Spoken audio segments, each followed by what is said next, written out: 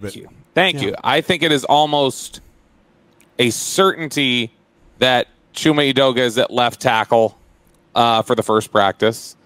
I think it's likely he's at left tackle for the first game, and I think it's possible he's at left tackle for the ins- entire season.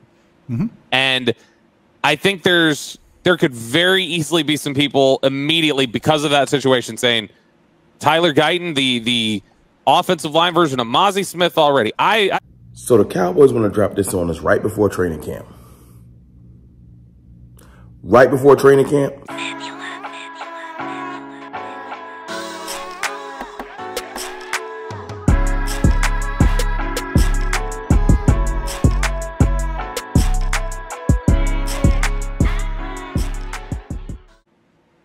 I think Tyler Guyton is going to be a Pro Bowl player. I, I think he has that in him. I don't think it's going to be right now. I think there's still things that they got to get done. And I think this coaching staff feels like do we want all of our, with our jobs kind of on the line, do we want to trust somebody going through growing pains? What's good, people? It's your boy, Mr. Rome, Cowboys fan talk, right back like I never left. What's good with y'all, man? How are y'all feeling? Okay, pardon the lighting because that way look crazy. Look, man, crazy long weekend, enjoying myself, celebrating my wife's birthday. We about to head to the airport. Everybody's still getting their stuff together. I'm exhausted. New Orleans owes me nothing, but it's back to business. It's time to talk these Cowboys because training camp starts in a couple days as far as people reporting. And we got stuff to talk about. Mainly what I saw last night when I was trying to catch up on information when I finally started to sober up. and for what I see, Tyler, oh, I guess I'm number here. Tyler Guyton probably is not going to start. Shout out to Bryan Broaddus, Bobby Belt, um, the Love of the Star podcast. Y'all already know who they are. Great insider, radio personalities, scout for the Cowboys for many years. Like, they know their stuff. They be at practice.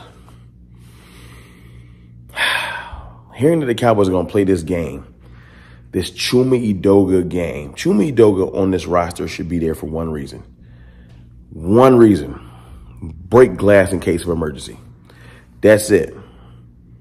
Somebody got hurt. Two people got hurt. Let's act like Asim Richards. Um, a bunch of people should have got hurt before he on the field. We saw him last year. No hate to him, but he Chuma. It you just Chuma, dog. I'm not mad at you. You've been in the league for a little bit of time let's just say you're not a veteran, but you, you know, you got, you got, you got experience. That's it. That's your, that's your superpower. You're not really good at the sport. That's why you're a cowboy and we signed you for $18 and some, some free club passes. And it is what it is. But the fact that they're considering starting you, all jokes aside, changes the whole season it almost is a head nod to like, we don't really care about winning too much. We're, we're, we're thinking about development. You always want to develop your rookies. You do. I ain't gonna say you don't. Um, and your younger players. You y'all know Caelen Carson and and and, and Marshawn Kneeland and all of them. We want to make sure that they are all good, trained up, ready to go. But not at the expense of the season. Chuma, Dak's blind side has been always important. Now, I know someone's going to come in the comments and say, when you get paid 60 million, which he's not making 60 million, and he never asked for 60 million because I've been looking for that story. I've been looking for that story. No one can find it for me. Find it. Find, find the clip of where Dak or his agent or anybody in his camp requested for 60 million. Just do it. Just please. But anyway, when you're making that money, you got to make do with lesser parts. And you do because some of your money would have went to other players on a good organization, not with the Cowboys. Because another thing you can't point out to me is the last time the Cowboys used extra money laying around to go get free agents, make trades. They don't do that neither. So I know it sounds like that's what they should do. That's what normal teams would do. That's not what the Cowboys do. So let's stop playing. Okay? All right. All right. So listen, Chuma starting is a big deal because and when he has to start because somebody got hurt, you're like, we got to make do. But to do it on purpose up front when you just drafted it, because if you were planning on playing Chuma all year, why in the FUC would you take a first round left tackle and not take something that can help you win this year? If you wanted a developmental left tackle, take one in the second round and develop his ass. If you didn't feel like Tyler Guyton was ready, he's too raw, like we were all complaining about. This is the, the key. We was all like, yo, he ain't ready. He got a lot of work to do. If you felt like we did, you should have took Keon Coleman or somebody like that. You should have went out there, grabbed me a receiver. You feel me?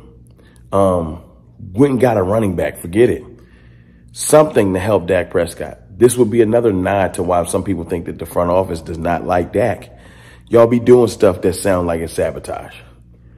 Y'all think he might leave, so now y'all leaking stories that, hey man, well, he probably gonna start anybody. Literally, there's a story that they're saying that um, Mike Solari, our offensive line coach, does not want to start two rookies. So that also X's out Cooper Beebe. No hate to Brock Hoffman. But if our line is Chuma Edoga, Tyler Smith, all pro, Brock Hoffman, see what we got.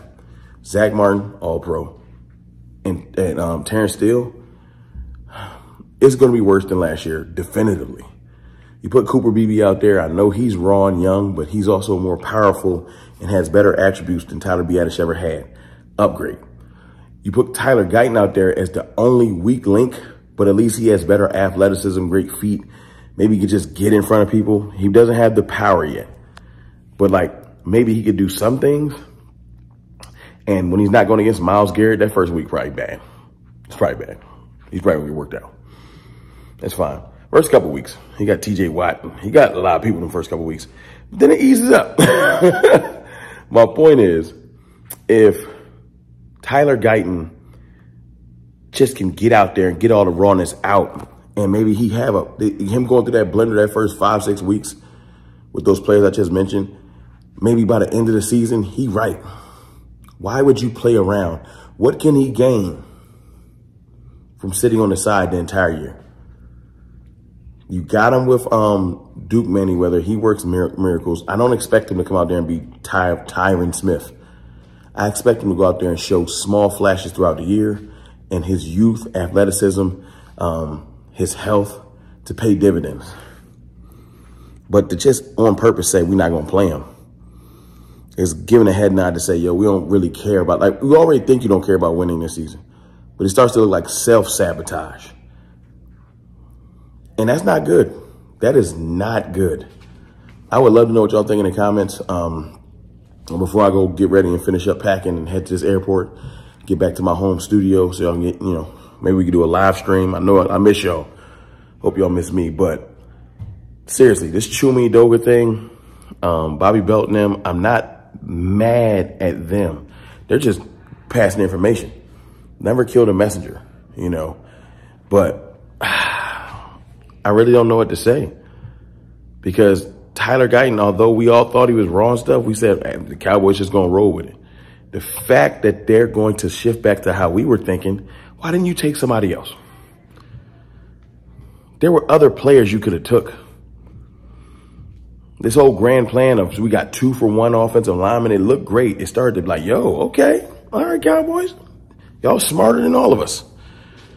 And then to not take advantage of it, to bench both of them, not great. Yeah, we'll be great next year. But then you're going to be trading problems for other problems. Because let's just say you piss Dak off with all these little games you playing, right? You piss him off. He dip. Let's just say. But Tyler Guyton is ready and Cooper Beebe's ready. Let's just say hypothetically. And you roll Trey Lance out there, Cooper Rush, or some other rookie you drafted. Now you got a new problem. The rawness is coming from the quarterback position. So yeah, you're getting great protection for your new running back because we'll probably get one of those next year too. And we'll probably go draft a receiver next year too. We'll get all the things we should have got for Dak Prescott after Dak Prescott leaves when we don't fucking need it. So Trey Lance can be comfortable. That's how the Cowboys move. I'm getting myself angry early in the morning. So look, I'm going to slide. Um, I'm going to see y'all a little bit later. Um, unless something breaks and I got to try to record something at the airport, which is almost impossible. But I appreciate y'all. I love y'all. Chuma Doga should not start if I ain't make myself self clear. Put Guyton out there, put Asim Richards out there, put me out there. One of y'all want to go out there. Not Chuma. Just not Chuma. And if Chuma does end up starting, I'm going to complain, kick my feet, drop down and give y'all temper tantrum like my eight-year-old does sometimes. It is what it is. It's your boy, Mr. Rome, man. I'll holler at y'all soon. Peace.